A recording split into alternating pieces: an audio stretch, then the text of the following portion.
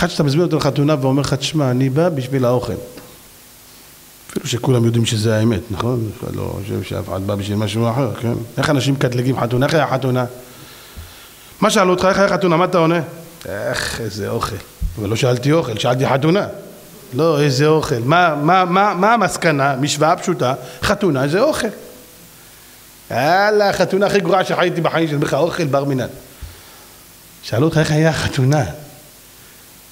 מה זה חתונה?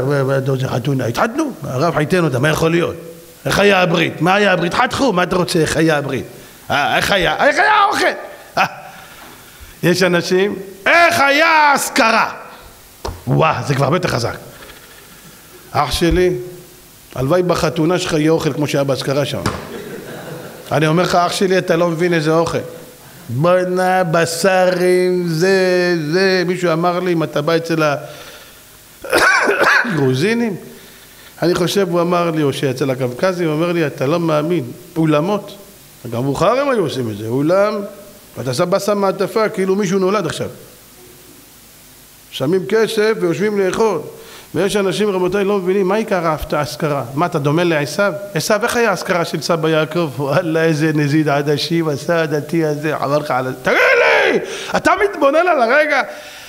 עצרת שנייה לחשוב מה זה אזכרה, עיקר האזכרה זה הדברי תורה שנאמרו שם, החיזוק שלך שלקחת משם, מה עשית עם זה?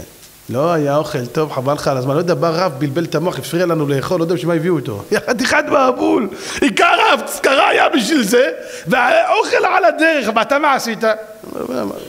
אתה מפריע לאכול, כבוד הרב. זה לא תחסום שור בדישו מדאורייתא. תגיד לי, אתם השתגעתם, מה קרה לבני אדם? רבותיי, אנשים עושים אזכרה, לא מבינים. בשביל מה עושים אזכרה? לא חבל על הכסף שמבזבזים? אוכל, זה, בשביל מה זה? יש כאלה אזכרות, אנשים, אין שם רב, אין דבר כזה. באים, אוכלים, מדברים לשון הרע, כדורגל שהיה בשבת, מסכן הנפטר הזה. הוא רוצה לרדת למטה, לתת כל אחד פטיש בתוך המוח.